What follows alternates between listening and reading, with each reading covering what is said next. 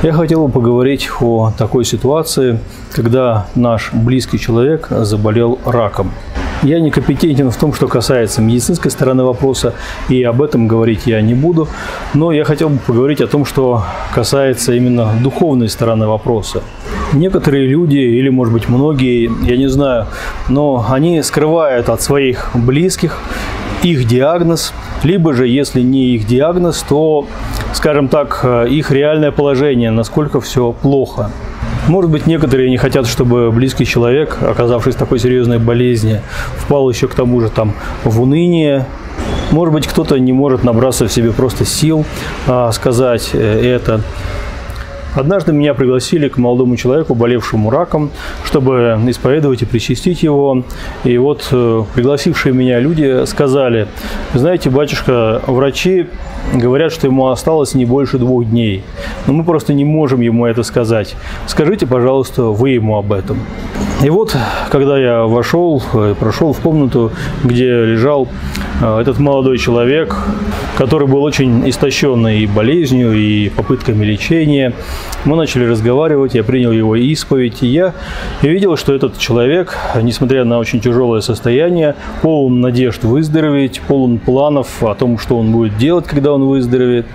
И вот мне пришлось говорить ему о том, что на самом деле он не только не выздоровеет, но счет уже идет на дни. Но этому молодому человеку, по крайней мере, сказали, и по крайней мере к нему пригласили э, священника, чтобы он мог исповедоваться, причаститься, подготовиться э, к смерти действительно по-христиански. Бывают, к сожалению, случаи, когда от э, человека скрывают до конца его состояние, и он умирает, так и не исповедовавшись, не причастившись. Если речь идет о человеке, который регулярно исповедовался и причащался, да, если он непосредственно перед смертью не причастился, тут, можно сказать, ничего страшного. Но если речь идет о человеке, который был, скажем так, э, за порогом церкви или только лишь на ее пороге, но не пересекал его, и в этом состоянии ушел, то это, конечно, самое, самое печальное для верующего родственника, вот что только может быть с его близким.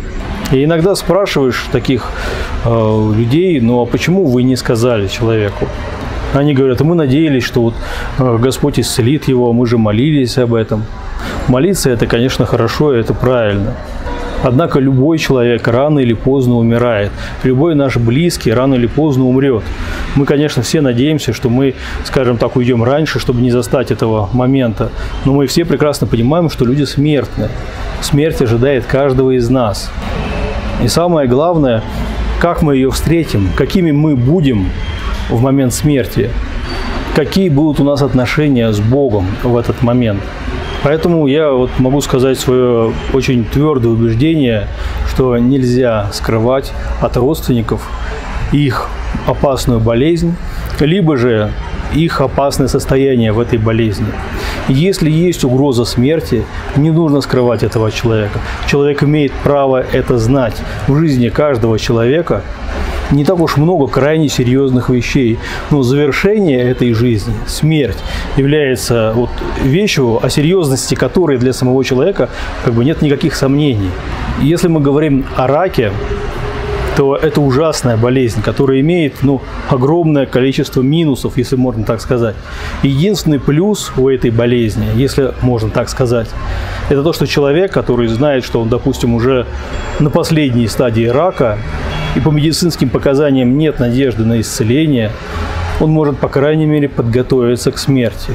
Он может исправить своей жизни все то, что еще не успел исправить, сделать то, что откладывал на потом эта болезнь позволяет ему это сделать, потому что человек находится в сознании и нередко, несмотря на боли, все-таки может там говорить и даже ходить, двигаться в определенной стадии болезни, в определенном состоянии. Человек может уйти так, как он хочет, может подготовиться к своей смерти. Это касается очень многих вещей. Может примириться с теми, с кем не примирился. Самое главное, если он был далек от Бога, он может прийти к Богу. Я такие примеры знаю, когда человек, который всю жизнь был атеистом, упорным атеистом, и уже там ему за 80 или даже за 90 лет он оказывается в состоянии, вот, в тяжелом состоянии неизлечимого рака, и близкий его, приезжая к нему, начинает говорить ему о Боге, человек принимает, искренне принимает Бога, кается, исправляется, и хотя бы в последние дни своей жизни приносит Богу вот свое покаяние и исправление. Никто из нас, верующих, воцерковленных людей, не хотел бы, чтобы наши неверующие близкие ушли без покаяния, без примирения с Богом. если мы скрываем от своих близких то, что смерть близка, мы лишаем их очень главного – да, человек может быть в сильном стрессе, если он узнает про свой диагноз или про свое состояние, безусловно. Но он имеет право знать, это его жизнь. Это то, что его жизни касается в самую первую очередь. Поэтому первое, что я хочу сказать, что все-таки нужно говорить, нужно быть честным с нашим близким. А его переживания, его стресс, нужно помогать ему пережить вместе. И второе, что я хочу сказать, если мы узнали, что у нашего близкого такой диагноз, если это наш близкий далек от церкви, самое главное, что нужно делать, это говорить с ним о том, чтобы он пришел к Богу, примирился с Богом. Молиться о его выздоровлении, безусловно, нужно, но это не самое даже главное. Самое главное, чтобы он не ушел без покаяния. И хотя вот Илья лично говорю, если ко мне приходят люди, у которых там родственники их э, неверующие. Я не говорю, что вот там обязательно им что-то там, так сказать, объясняйте, спорьте с ними или еще что-то. Я говорю, что ну, пока человек жив, молитесь, ждите, пока, может быть, человек будет готов, открыт для этого. То есть действовать деликатно. Но если речь идет о смертельной болезни, в данном случае дело даже не только в раке, если речь идет о смертельной болезни, по моему убеждению, в этом случае нужно отбросить деликатность. Пусть даже даже и с дерзновением, пусть даже и с навязчивостью, но нужно в этом случае говорить и говорить, и убеждать, и просить. Если наш близкий согласился, да, я готов поговорить со священником, да, я готов поисповедоваться. Не медлить, не откладывать, не откладывать на следующую неделю даже. Постараться вот завтра, а в некоторых случаях, может быть, и сегодня, вот, если есть такая возможность, привести к нему священника. Мне кажется, это очень важно. И не нужно бояться разговоров о смерти, потому что некоторые боятся говорить из-за суеверных причин. Вот будто бы скажешь, и действительно человек умрет. А если ты не скажешь, то он как будто будет жить вечно. Ничего подобного.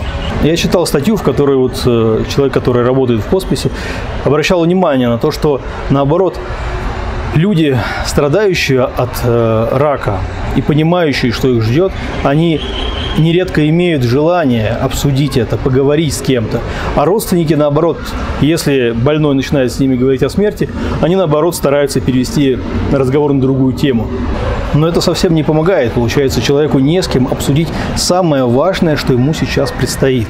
Помню, было также меня пригласили поисповедовать э, человека, э, тяжело болеющего раком. И вот тот, кто меня пригласил, тот, кто меня вел к этому своему близкому человеку, мне, пока мы шли, сказал, батюшка, он не выздоровеет. Врачи сказали, нет никакой надежды. Но когда мы с этим же человеком вот пришли к больному, то этот человек э, ему говорит, о, привет, да ты сегодня лучше выглядишь, да мы там с тобой скоро там на рыбалку поедем, давай поднимайся.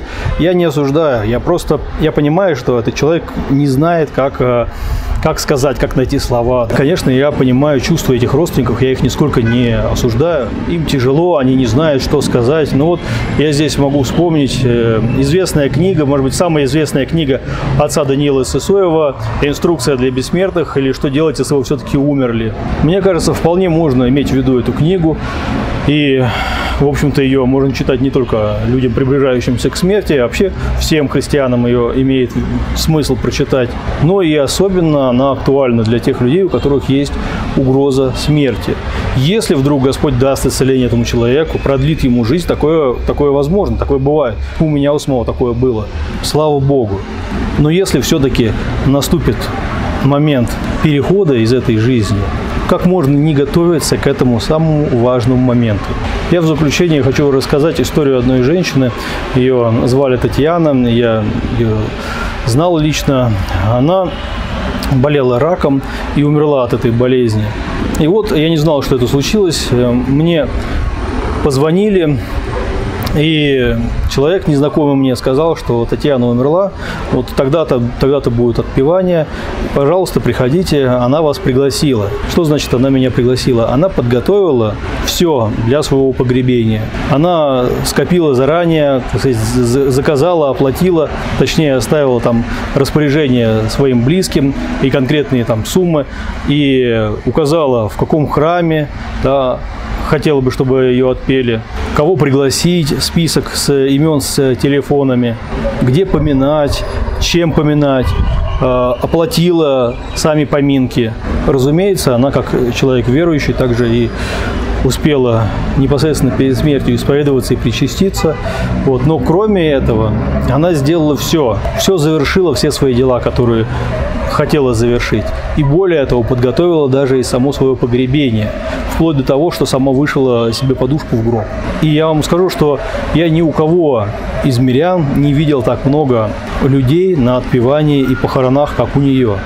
Не знаю, как вас, а меня лично это очень впечатлило. То, с каким христианским спокойствием человек подготовился к своей смерти. Я это рассказал не в том смысле, что вот как бы так нужно делать, а просто как пример того, что человек может правильно распорядиться знанием о своей скорой смерти. Может распорядиться этим знанием так, как он сам хочет. И он имеет на это право. И лишать его на это право ни в коем случае нельзя.